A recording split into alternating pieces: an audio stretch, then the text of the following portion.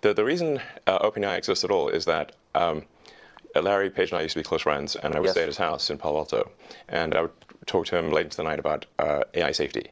And at least my perception was that Larry was not taking uh, AI safety uh, seriously enough. Um, and um, What did he say about it? he really seemed to be um, one, one, one sort of digital super intelligence, basically digital God, if you will, uh, uh, as soon as possible. Um, He wanted that? Yes. He's, he's made many public statements over the years uh, that, that the whole goal of Google is uh, uh, what's called AGI, artificial general intelligence or artificial superintelligence.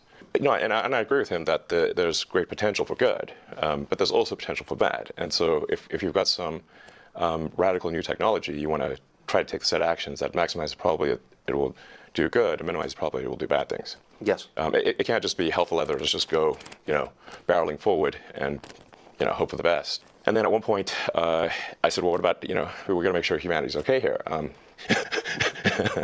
and and and um, uh, and then he called me a speciesist.